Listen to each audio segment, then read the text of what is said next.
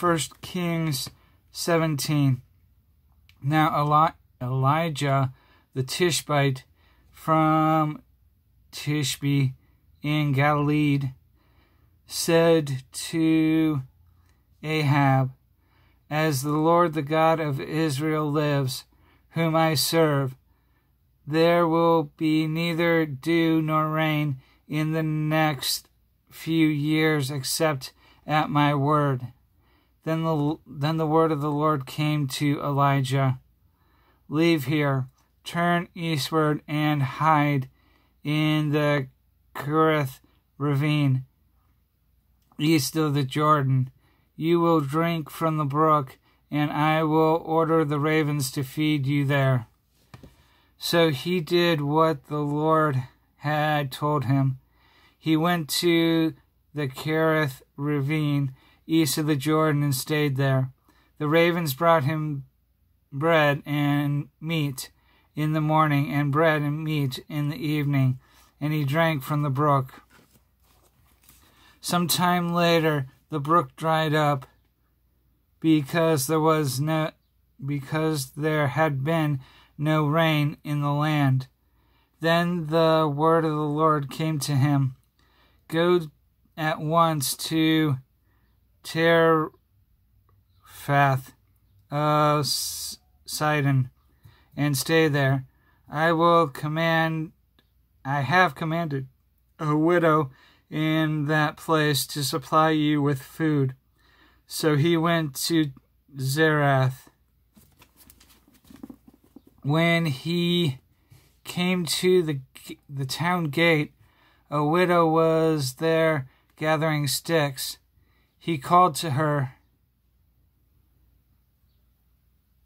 and asked, Would you bring me a little water in a pot so I may have a drink? As she was going to get it, he called, And bring me, and bring me, please, a piece of bread. As surely as the Lord your God lives, she replied, I don't have any bread, only a handful of flour in a jar and a little oil in a jug. I am gathering a few sticks to take home and make a meal for myself and my son, that we may eat it and die.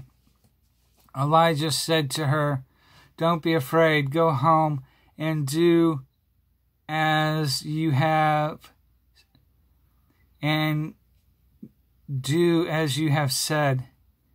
But first make a small cake of bread for me from what you have, and bring it to me, and then make something for yourself and your son.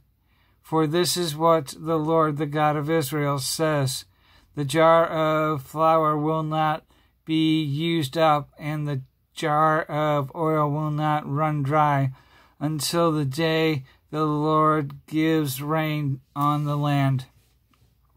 She went away and did as Elijah told her, and did as Elijah had told her she or so there was food every day for Elijah and for the woman and her family. For the jar of flour was not used up, and the jug of oil did not run dry. It in keeping with the word of the Lord spoken by Elijah. Sometime later, the son of the widow of the woman who owned the house became ill. He grew worse and worse and finally stopped breathing.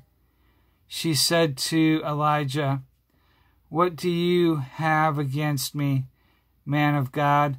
Did you come to remind me of my sin and kill my son? Give me your son, Elijah replied. He took him from her arms, carried him to the upper room where he was staying, and laid him on this on his bed. Then he cried out to the Lord, O Lord my God, have you brought tragedy also upon this widow I am staying with by causing her her son to die? Then he stretched himself out over the boy three times and cried to the Lord, O Lord, my God, let this boy's life return to him. The Lord heard Elijah's cry, and the boy's life returned to him, and he lived. Elijah picked up the child and carried him down from the room into the house. He gave him to his mother and said, Look, your son is alive. Then the woman said to Elijah, Now I know that you are a man of God, and that the word of the Lord from your mouth is the truth.